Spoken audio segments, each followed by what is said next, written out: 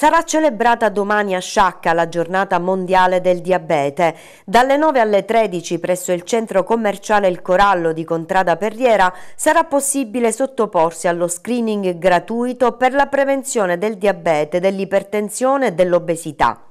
L'iniziativa, come ogni anno, è promossa dal diabetologo saccense Michele Russo e dalla locale associazione diabetici presieduta da Lillo Catanese. Si tratta di una campagna di sensibilizzazione e prevenzione di una patologia che resta purtroppo assai diffusa e che, se non adeguatamente curata, può causare l'insorgenza di gravi complicanze faremo una serie di screening non solo per il diabete ma anche per l'ipertensione mm, e per il peso. Eh, domani ricorre eh, questa giornata mondiale del diabete che è un'occasione per ricordarci a tutti che intanto nel campo della cura del diabete si sono fatti notevoli progressi, eh, quale ad esempio la possibilità di avere a disposizione un sensore per eh, il rilevamento continuo della glicemia per almeno 14 giorni eh, e questo ci dà la possibilità di vedere le glicemie come si muovono se noi raggiungiamo gli obiettivi, cioè non bisogna soltanto prendere dei farmaci per la cura del diabete ma bisogna eh, verificare se le glicemie sono buone, se si raggiungono delle, dei buoni valori.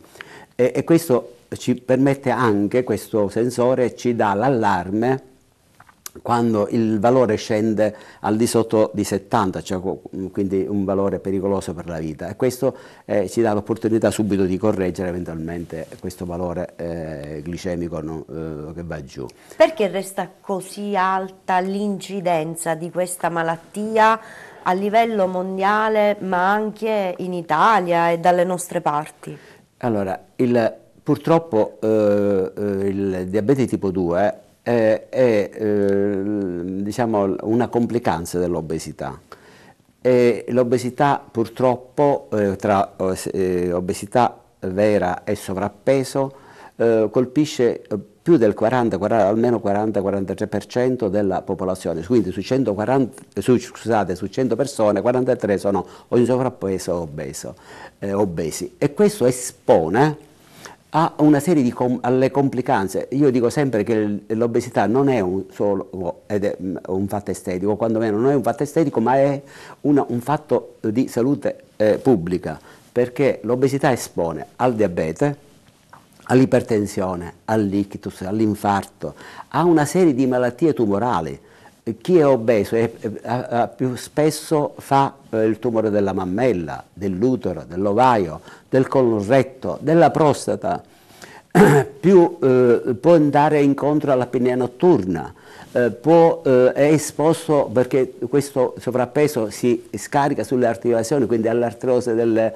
delle anche delle ginocchia, eh, quindi eh, tutta una serie di, di, di, di, un corteo di malattie estremamente serie che sono un peso e un'infelicità per la persona che ne è affetta, ma anche una spesa eh, importante per una sanità pubblica che purtroppo eh, eh, diciamo, va sempre peggio.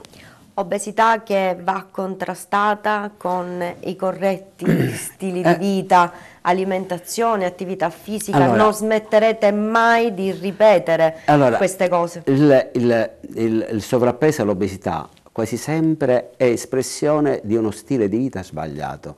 Noi eh, eh cosa dobbiamo fare per prevenire o curare l'obesità? Al di là dei farmaci che oggi ci sono anche per eh, curare eh, l'obesità grave.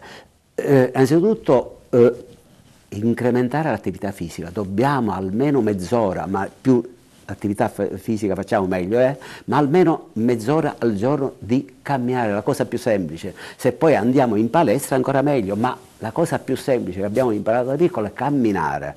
E poi uno stile di vita corretto dove gli alimenti che vengono dalla terra sono quelli che noi dobbiamo mangiare, tutto ciò che viene dal regno animale, questo ne dobbiamo mangiare poco e, e nella giusta quantità.